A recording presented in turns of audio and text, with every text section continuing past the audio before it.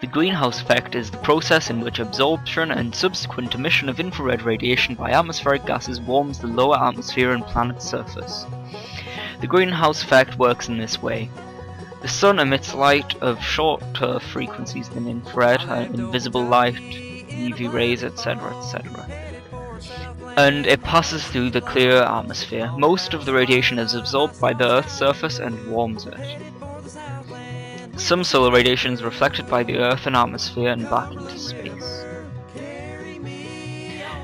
This, this radiation that's reflected, absorbed and emitted is emitted in much shorter wavelengths than infrared.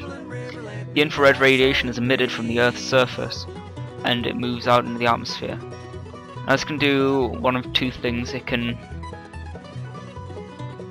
well, the greenhouse gases in the atmosphere absorb this radiation which excites bond and emits infrared again in a multitude of directions. This has the effect of warming the Earth's surface and lower atmosphere.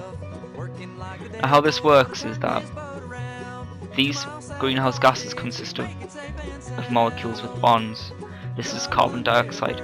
And when it absorbs infrared radiation, the bond vibrates. So it's absorbed infrared and it's vibrating this way way.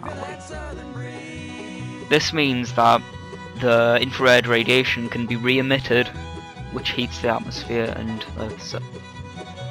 Carbon dioxide is produced in volcanic eruptions, respiration of animals, burning or decay of organic matter, such as plants, and burning of fuels containing carbon.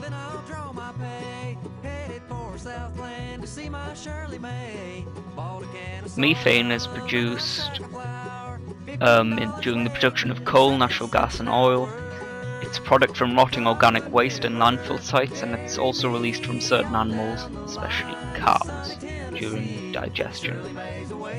It's also trapped in ice in structures called clath clathrates, which contain 3,000 times as much methane as is in the atmosphere. If this is released, it will have a massive impact on global warming.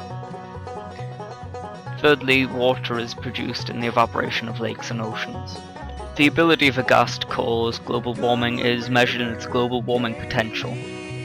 Global warming potential is related to the lifetime of the gas in an atmosphere as well as the ability of the gas to absorb infrared radiation. Some chlorofluorocarbons are 2,500 times more efficient at absorbing infrared radiation than carbon dioxide, but since they're banned, um, their effect is diminishing.